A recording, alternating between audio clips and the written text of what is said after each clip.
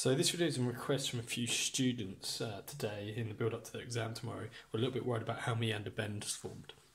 So I thought we'd quickly go through that. Quite complicated, but if we break it down into steps, hopefully we can simplify the process slightly. So the first stage in a meander forming, remember a meander is a sinuous bend in the river, it's a series of connected bends, normally found in the middle course of the river where lateral erosion starts to dominate. So during periods of low flow, deposition may occur in what is previously a straight river channel. We can see that here. So we've got a straight channel, we've had two areas of deposition. What this does is it creates alternating pools of deep water and shallow areas called riffles. So we've got our pool here away from the depos deposition and our riffle being shown by this area kind of very close to that area of coarse material that's been deposited during low flow. What then happens is that the pools and riffles cause the flow of the water in the river to swing from side to side, trying to follow the path of deepest water. This is where there's less friction, okay, it's easier for the water to flow.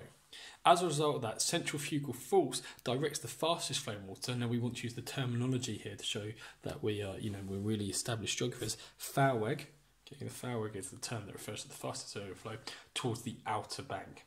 This causes lateral erosion, which we know is fundamental to a meander bend formation. Okay, so let's just make sure we have that in there.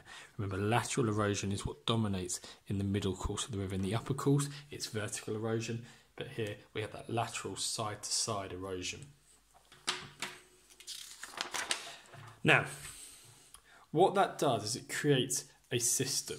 Okay in which we have faster flowing water, that Thalweg, being forced to the outside of the bend, causing erosion, predominantly by hydraulic action, that fast flow being forced into the outer bank of the bend.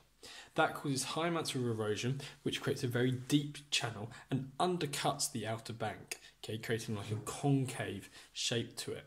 Okay. We call that steep outer bank the river cliff, and it is highly uh, vulnerable to the potential risk of collapse. On the inside of the bend, we have much slower flow. Okay, this causes deposition to occur, which normally creates something that we call a slip-off slope. It looks like a small beach on the inside of the bend. What we end up with then is an asymmetrical channel. Over time, erosion on the outer bank and deposition on the inside increases the sinuosity of the river. Sinuosity is basically the ratio of the river's length to its kind of uh, sort of distance in a straight line from uh, source to mouth and then actually how long it actually takes because of the fact that it bends. Okay, so the tighter the bends, the more bends they are, the higher the sinuosity. Now, over time, meanders bends become ever more sinuous due to a process called helicoidal flow. Okay, what this helicoidal flow does is it takes material from the outside of the bend okay, and transports it downstream to the inside of the next bend. So if we take this to this series of meanders here, if we've got material being eroded from that river cliff, that outer bend here, that material is then transported in like a corkscrew motion, okay, to the inside of this meander bend here. Okay. If we were to look at that in a cross-sectional view, what we've got is the flow of water at the surface of the meander is being directed, as we said, by the centrifugal force to the outside of the bend. It's then still got energy, so it's forced downwards, eroding material from that river cliff as it does so, and then tries to make its way back towards the inside of the bend where it will then deposit that material. But we've got to remember that not only have we got this flow in the bend like this, obviously we've also got down um, slope flow of the river, okay, which is obviously going to not only move that material from the outside to the inside, but also move it downstream to the next meander bend.